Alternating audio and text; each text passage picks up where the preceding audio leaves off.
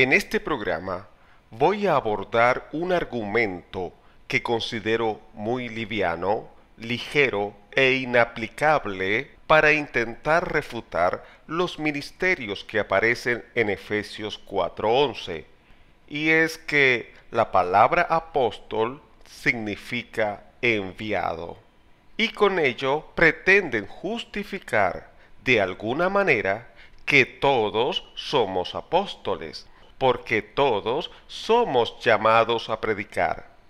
Observe lo que dice un amigo de nombre Edgar Escobar, el cual tiene un canal YouTube de nombre Biblia Libre, en un vídeo titulado Cómo convertirse en apóstol.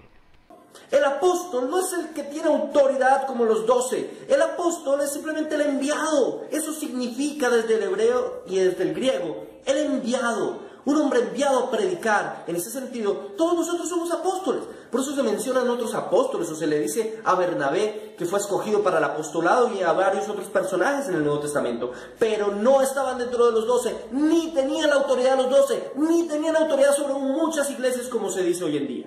Si consideramos que el canon de la escritura está cerrado, también los apóstoles porque el propósito de ellos era traer la revelación directa y el canon de la escritura.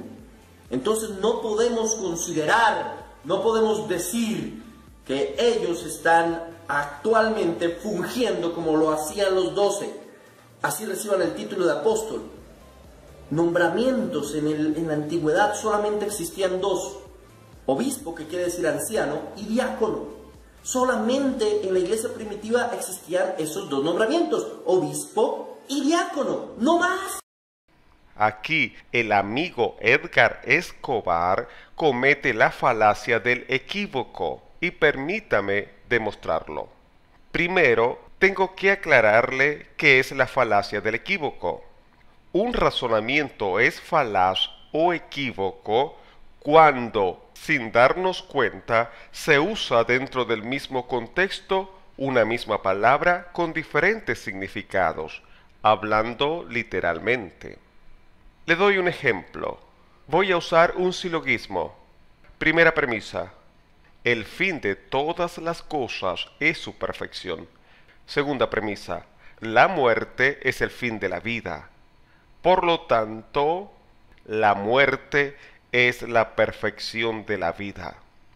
En este ejemplo, la palabra fin en la primera premisa significa como conclusión al realizar una obra, como cuando se termina una escultura por un gran artista. Cuando concluye podemos ver, contemplar con toda seguridad cuán bella, hermosa quedó. Cuando comienza el escultor su obra, los espectadores no saben generalmente que también o mal quedará, pero es al finalizar que se notará la forma que quería darle y logró. Pero la palabra fin en la segunda premisa habla que la muerte es el fin de la vida, es decir, que la vida concluye con la muerte. Eso es otro contexto, otro significado de la palabra fin. Pero alguien concluye por darle un solo significado a la palabra fin, que la muerte es la perfección de la vida, cuando eso es otro contexto, otro significado. Puede notar el error de la falacia del equívoco. El amigo Edgar Escobar pretende con su argumento que por la etimología de la palabra apóstol, que significa enviado, se puede aplicar así a Efesios 4:11, porque dijo, cito, el apóstol es simplemente el enviado. Eso significa desde el hebreo y desde el griego el enviado, un hombre enviado a predicar. En ese sentido, todos nosotros somos apóstoles.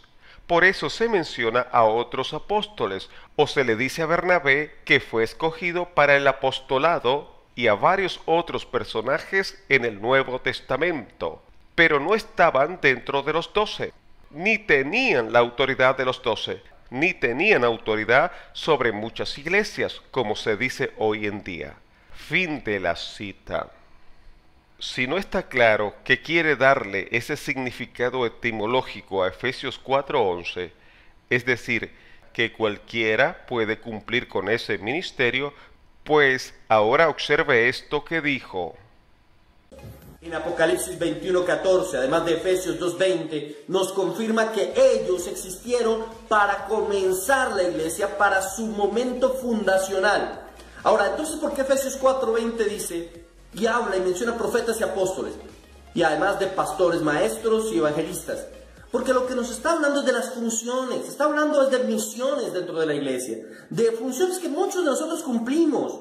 El profeta no es el que anuncia el futuro hoy en día. La misma palabra dice que la profecía para, sea para edificación, consolación y exhortación.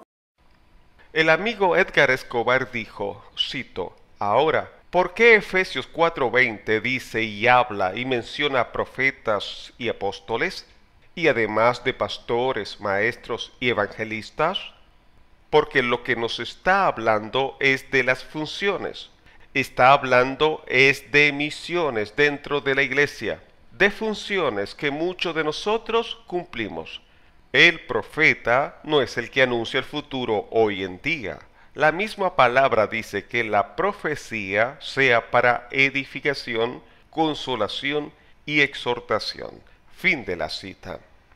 El amigo David Diamond tocó este punto también, pero a mi parecer fue mucho más honesto, más honorable, más a la altura. Fíjese cómo lo dijo.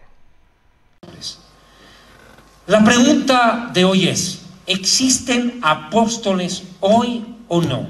Mire, ¿quiere que le diga algo? Si fuera por términos, todos somos apóstoles, por una razón sencilla. La palabra apóstol no significa otra cosa sino que enviado. Si fuera por etimología, por origen de la palabra, todos somos apóstoles aquí, porque todos hemos sido enviados a predicar. El amigo David Diamond dijo, cito, la pregunta de hoy es, ¿existen apóstoles hoy o no? Miren, ¿quieren que le diga algo? Si fuera por términos, todos somos apóstoles por una razón sencilla. La palabra apóstol no significa otra cosa que enviado. Si fuera por etimología, por origen de la palabra, todos somos apóstoles aquí porque todos hemos sido enviados a predicar. Fin de la cita. Bien lo dice el amigo Daimon, a diferencia del amigo Escobar, si fuera por etimología. Pero el caso es que hay que revisarlo en su contexto. No se puede cometer la falacia del equívoco de darle un solo significado a la palabra apóstol descuidando el contexto. Si la palabra apóstol significa enviado, quiere decir que alguien le comisiona, le autoriza, le ordena en cumplir una función en nuestro caso, estamos hablando del ministerio de apóstol, de acudir a un llamado a ministerio. Nadie puede salir a ministerio por sí solo. El mismo Escobar se contradice al admitir que un apóstol tiene que ser nombrado por Jesucristo. Es decir, no puede ser erigido, nombrado o establecido por hombres. El amigo Edgar Escobar dijo, cito, en segundo lugar, tenía que ser nombrado directamente por Jesucristo. Él es el que nombra quien va a ser su apóstol. Él nombró a los doce porque doce es un número simbólico de pueblo. Fin de la cita. Luego dijo, cito, no eran ni siquiera los apóstoles mismos los que escogían apóstoles, sino era Jesucristo en persona. Fue él el que escogió al apóstol Pablo como el doceavo apóstol. Fin de la cita. Para un ministerio, cualquiera que sea, debe ser por un llamado. Hebreos capítulo 5, verso 1 al 4 dice, porque todo sumo sacerdote tomado de entre los hombres es constituido a favor de los hombres, en lo que a Dios se refiere, para que presente ofrendas y sacrificios por los pecados, para que se muestre paciente con los ignorantes y extraviados, puesto que él también está rodeado de debilidad y por causa de ella debe ofrecer por los pecados tanto por sí mismo como también por el pueblo. Y nadie toma para sí esta honra, sino el que es llamado por Dios como lo fue Aarón. Repito, y nadie toma para sí esta honra, sino el que es llamado por Dios como lo fue Aarón. Sabemos que la iglesia en la época de gracia es la depositaria de las promesas de Dios. Es en la iglesia los que son llamados para ser reyes y sacerdotes, es decir, de ella salen personas para cumplir o la función de rey o la función de sacerdote. Así como en la ley el sacerdote fue escogido por Dios, en la gracia también es escogido por Dios. Nadie por su iniciativa puede tomar esta honra. El amigo Escobar reconoce que los apóstoles fueron escogidos por el Señor Jesús, que no podían ser escogidos por ningún hombre. Eso sería un ministerio según hombre y no según Dios. Nadie puede darse el ministerio, sea de maestro, pastor, evangelista, profeta u apóstol por sí mismo, cosa que está ocurriendo en la actualidad en los llamados o tergiversados ministerios del apostolado.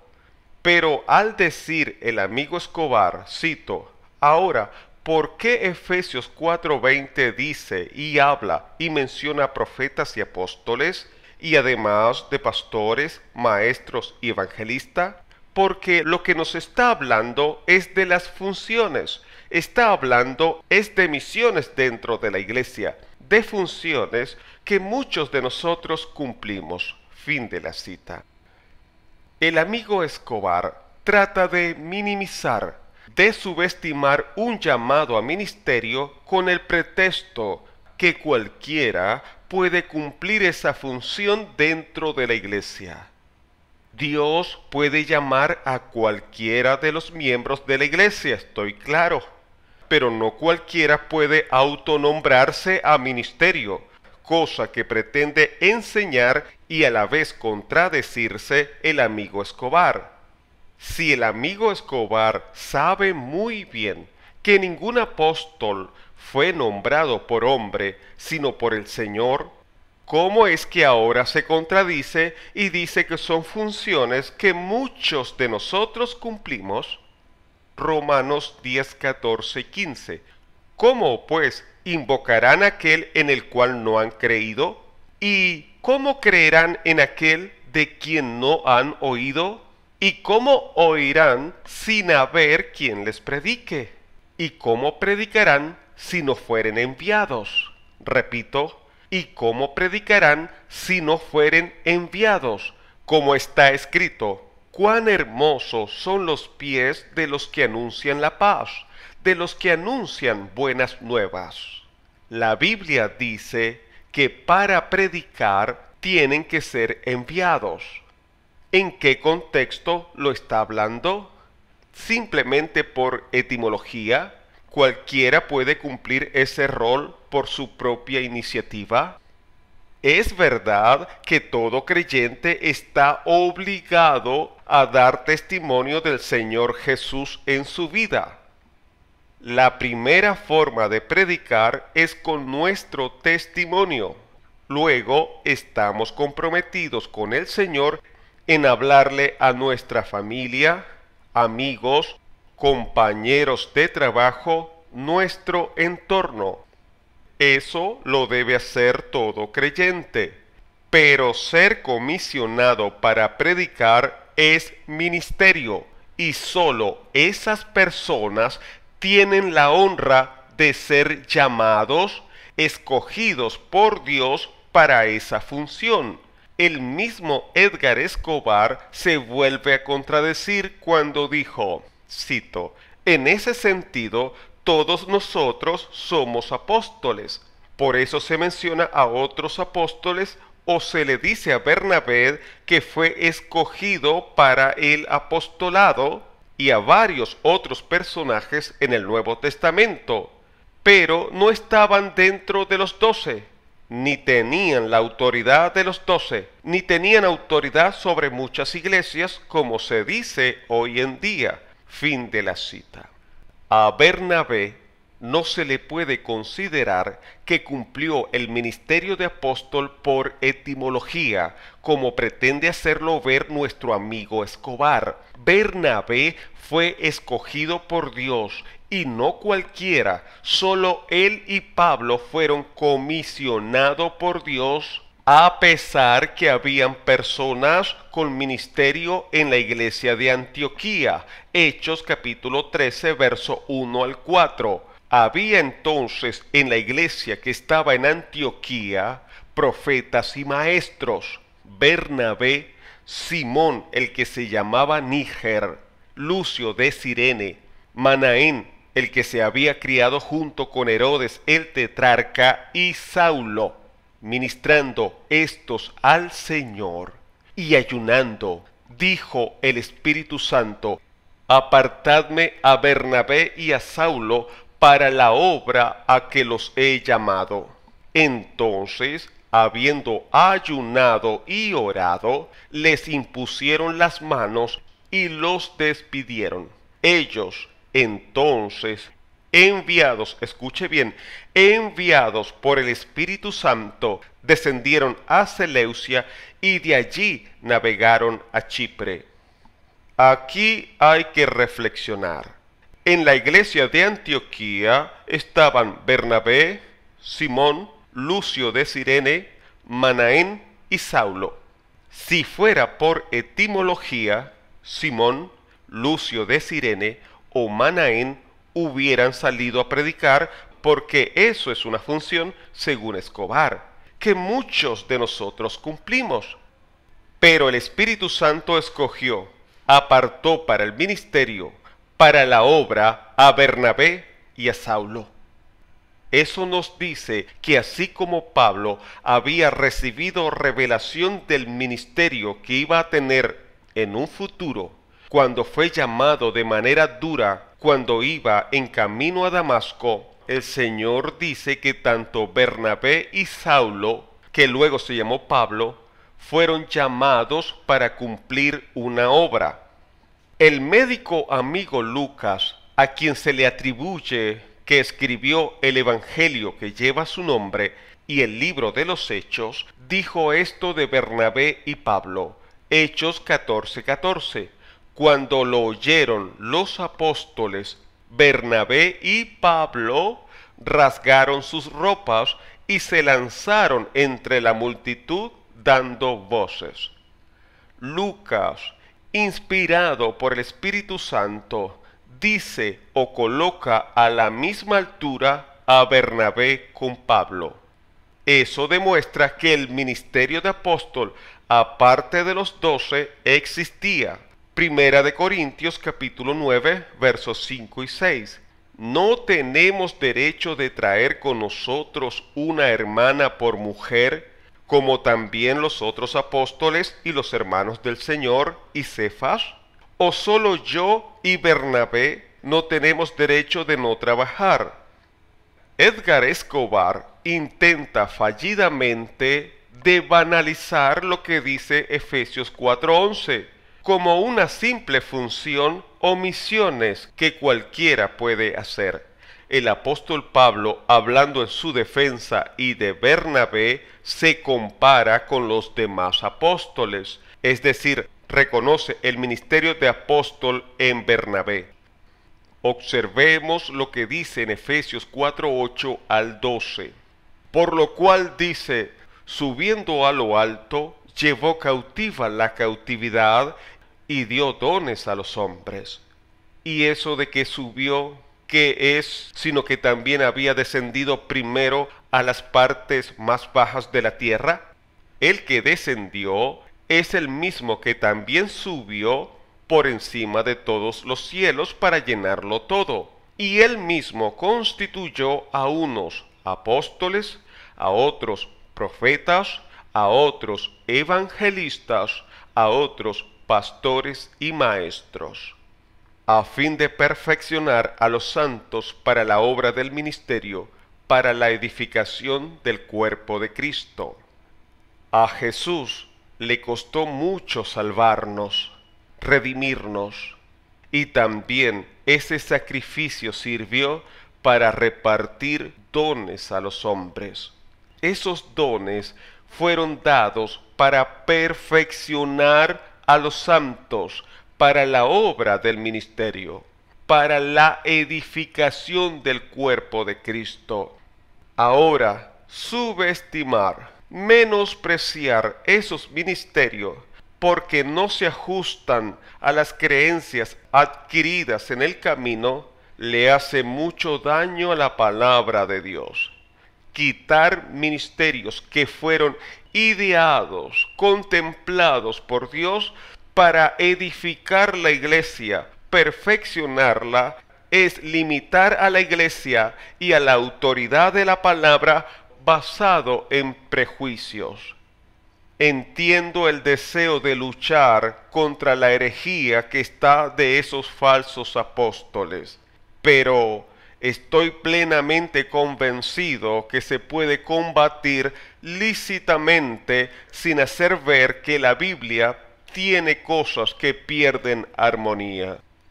Pierden armonía por la forma de interpretarla el amigo Edgar Escobar en una parte de su vídeo dice que solo hay dos ministerios que la Biblia registra, que son obispo y diácono. Eso lo pienso revisar en otro programa, que me servirá para responder a dos tipos de personas. Primero, a los que banalizan que esos ministerios de Efesios 4:11 son simples funciones o misiones, y a los que dicen que la mujer no puede predicar o ser pastora porque ahí dice que uno de los requisitos es ser marido de una sola mujer. Quiero dejar en claro que no estoy defendiendo el ministerio de apóstol a la altura de los doce con que se fundó la iglesia. Eso es imposible que alguien en la actualidad esté a la altura de ellos. Pero sí estoy de acuerdo que existe el ministerio de apóstol según Efesios 4:11 como un don dado por Dios para perfección y edificación de la iglesia. Eso es muy distinto a la jerarquía y autoridad de los doce. Es por ello que el amigo Diamond y el amigo Escobar no pueden negar que en el Nuevo Testamento, aparte de los doce, llamaron a otros apóstoles. Ahora, espero hacer varios programas tocando punto por punto para ser lo más metódico posible y comprobar si ese ministerio lo calzan los que en la actualidad pregonan que son apóstoles. El título del mensaje, Apóstol por etimología, y quien les habló, su amigo Omar Duarep.